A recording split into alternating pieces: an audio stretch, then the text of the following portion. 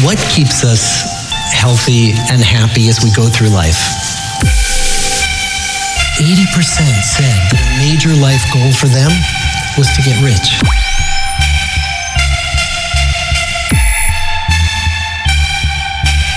We're given the impression that these are the things that we need to go after in order to have a good life.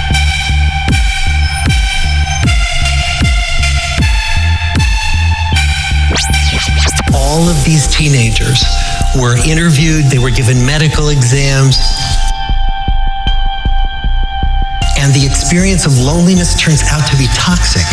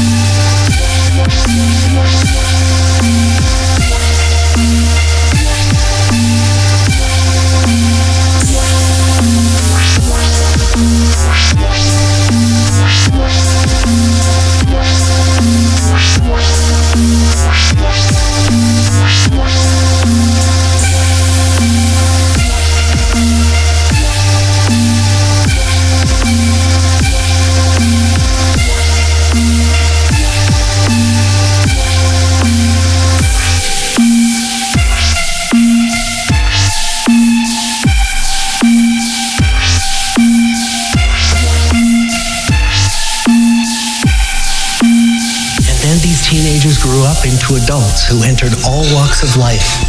They became factory workers and lawyers and bricklayers and doctors. One president of the United States. Some developed alcoholism. A few developed schizophrenia. Some climbed the social ladder from the bottom all the way to the very top.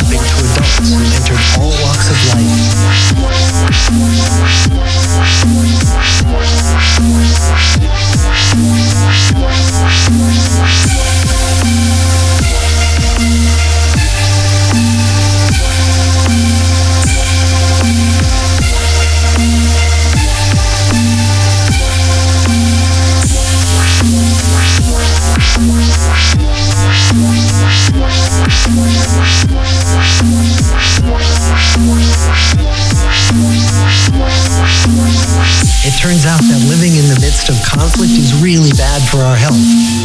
High conflict marriages, for example, without much affection, turn out to be very bad for our health, perhaps worse than getting divorced.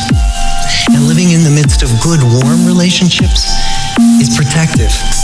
Once we had followed our men all the way into their 80s, we wanted to look back at them at midlife